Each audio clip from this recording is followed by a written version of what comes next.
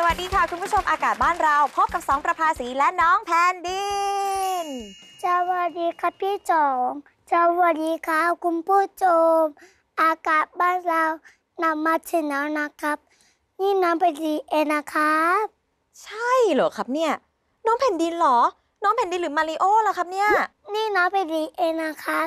น้ำไปดีชอบเมนีโอกินเห็ดเพราะว่ามีประโยชน์ แล้วแข็งแรงด้วยครับ อ๋อ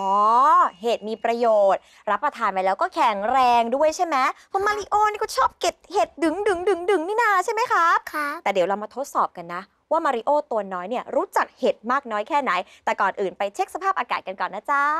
ภาคกลางในช่วงนี้อากาศร้อนถึงร้อนจัดค่ะ กับมีฟ้าหลวในตอนกลางวัน และมีฝนฟ้าขนองร้อยละสิของพื้นที่ อุณหภูมิต่ำสุด 22-27 องศาเซลเซียส สูงสุด 36-40 องศาเซลเซียสค่ะ เอาล่ะเมื่อกี้เราค้างเรื่องเห็ดใช่ไหมเดี๋ยวมาทดสอบความรู้กับมาริโอตัวน้อยสักหน่อยรู้จักเห็ดแค่ไหน เริ่มต้นเลยเห็ดนางฟ้ารู้จักไหมครับ รู้จักครับไหนเป็นไงอะขาวขาวเจ้าเจ้าช่วยช่ว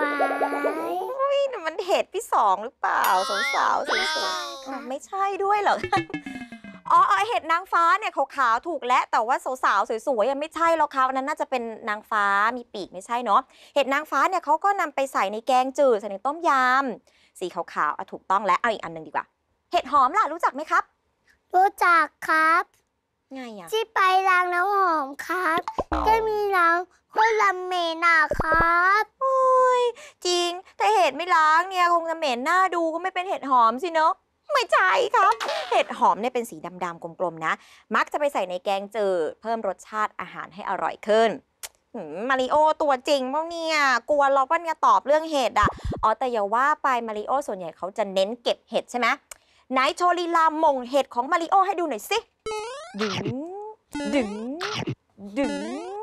ดึง เอาละเพลิดเพลินกันไปแล้วนะคะ ได้หลายแต้มมาตอนนี้ ลาท่านผู้ชมไปก่อนเลยแล้วกันนะคะ บ๊ายบายค่ะ บ๊ายบาย ดึง